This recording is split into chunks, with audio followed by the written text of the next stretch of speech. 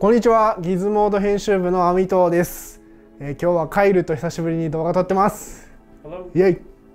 はい今日はですね、えー、アンカー。最近ね僕アンカーに興味を持ち始めてます。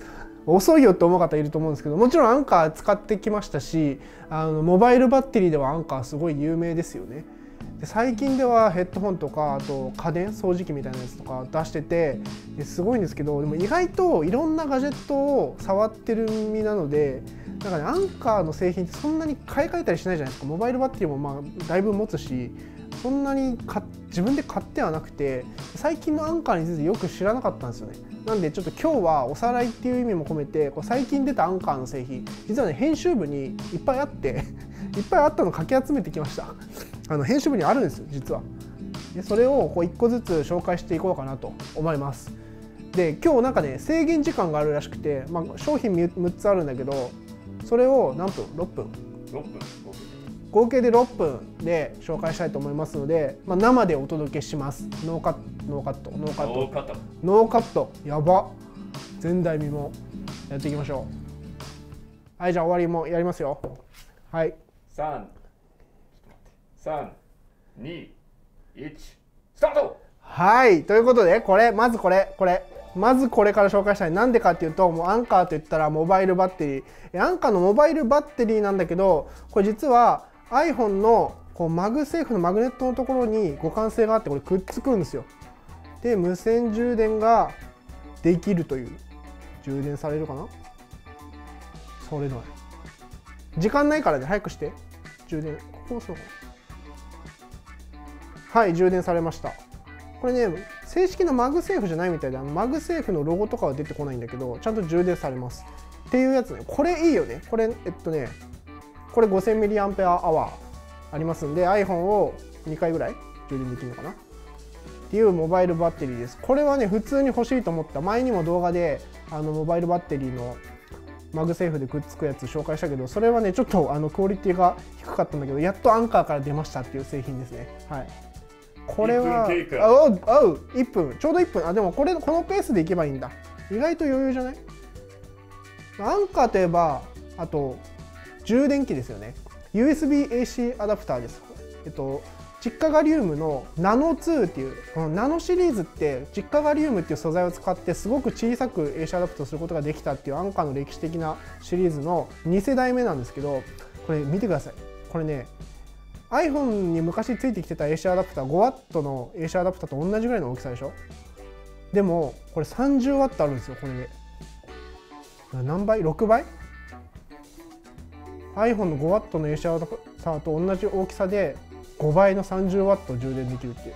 でこれ 45W と 65W のえもうちょっと大きくなっていくんだけどバリエーションもあってこれも発売中です。これもいいよね。だって30は俺今ね全量の 30W の AC アダプター使ってるけどマジ？やばいちょっと時間ないわ。30W で十分ってこと言いたかった。で充電といえばケーブル必要ですよね。でちょっとねこれ Anker らしくないって言ったらあれなんだけど Anker ってさなんか白とか黒とかのイメージあるけどこれピンク。これもっといろんな色あって紫とかこう淡い色のケーブルがあるんだけど USB-C to ライトニングですまあ、あのねいくら C USB-C 全盛といっても Lightning ケーブルは iPhone 使ってる限り持たなきゃいけないんですよ。iPhone だけだよ！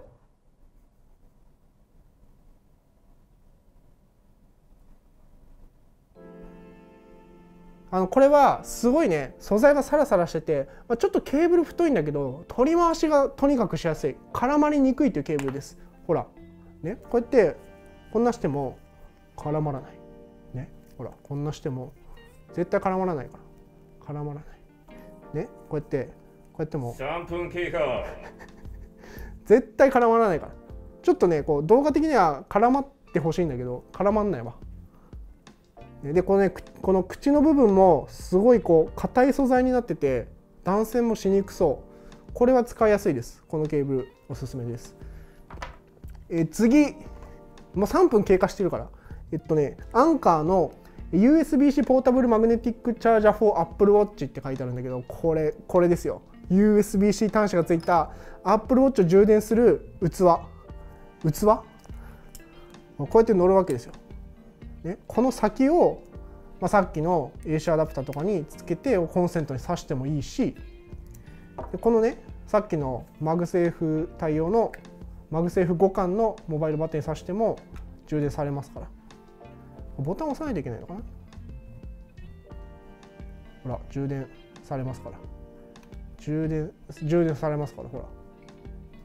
これ今まではケーブルで持っていくしかなかったんだけどしかもね先が USB-A だったりしたんだけどこれ USB-C でこのサイズで持ち歩ける歩けることによってあのやっぱアプローチの充電器って持っていくかどうか迷うんだけど持ってくってこう一択で決められるっていいですね。ちっちゃいから。はい。次、えーこれ衝撃ですよ。これ7500円ぐらいなんだけど完全ワイヤレスイヤホンです。ライフ P3 っていう完全ワイヤレスイヤホン。で7500円でびっくりなんだけどノイズキャンセリングがついてます。で形もちょっとね AirPods ライクで僕の小さな耳にも入りやすい。やばいあと1分20秒しかない。あのノイキャンは正直おまけ程度です。ほとんど聞かないです。ノイキャンしてんのか外音取り込みしてんのかもよく分かんないレベルで聞かなかったんでまあただね音質は結構思ったよりいい。あの低音が効いてて迫力もあるしあとねなんかゲーミングモードっていうあの臨場感を出すこう足音とか聞きやすいモードもあるみたいでそれも良さそう。まあちょっとねノイキャンは残念だったけどでもノイキャンといえばもう一個ねノイキャン製品あるんですよ、まあノイキャンついたイヤホンアンカーいっぱい出してるんでこれだけがちょっと弱いのかもしれないけどこっちはね結構良かった。これはライフ Q35 っていう。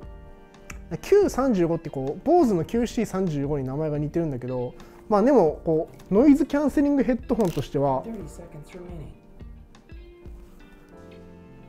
すごいね。こっちだった。こっちだ。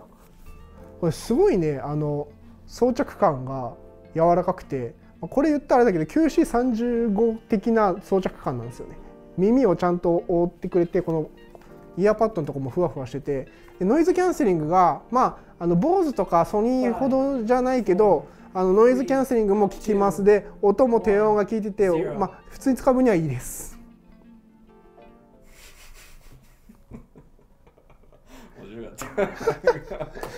なんか時間に追われちゃったけど。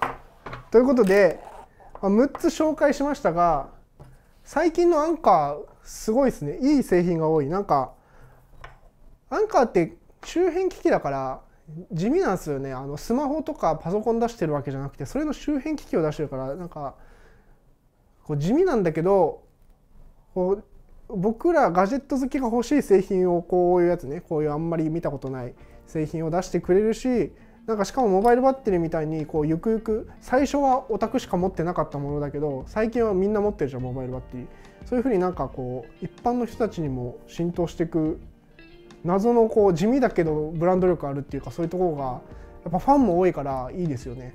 ということで最近あのアンカー全然使ってなかったアミトが最近のアンカーどうなのってことで一個一個見ていったんですけど結構欲しい商品ありました自分で買うとしたら、まあ、ちょっとねやっぱイヤホンとかヘッドホンはあの他に持ってるからバッテリーとか全部アップデートしたいですねケーブルとかも、まあ割と長く使ってるやつ多いけどこう新しいのにアップデートするとマグネットでくっつけられたりとかすごいサイズがちっちゃくなったりとかするんでまああの周辺機器古くなってきた傷んできたって人は最近のアンカーぜひおすすめですので買ってみてはどうでしょうか？